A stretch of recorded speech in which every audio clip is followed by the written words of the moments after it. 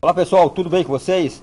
Olha aqui ó, a nossa colheita aqui do araçá. Não sei se vocês aí para cima conhecem como araçá. Esse aqui é o araçá vermelho, existe o araçá amarelo também. Nós não temos aqui no nosso pátio, no nosso terreno.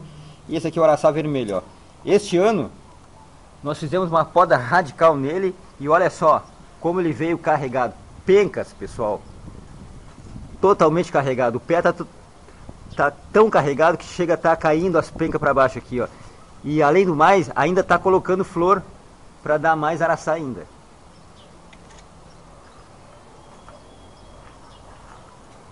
Olha aqui, ó. Simplesmente tem desse tamanho, mas também, ó. Olha o tamanho desse araçá vermelho aqui, ó. Só vou largar o potinho aqui no chão para um pouquinho para vocês darem uma olhada. Olha aqui, ó. Vamos abrir um aqui, ó. É extremamente doce, pessoal. É bem docinho mesmo, ó. E nessa época do ano não tem problema, porque nessa época do ano não tem a mosca do fruto, né? Então não pega o bicho aquele do araçá ou da goiaba. Esse aqui, nessa época do ano, vocês podem comer à vontade, totalmente seguro que não tem o bichinho dentro dele. Esse aqui é um presente para o nosso amigo Marcos, que a gente vai dar para ele hoje na casa dele lá, ó.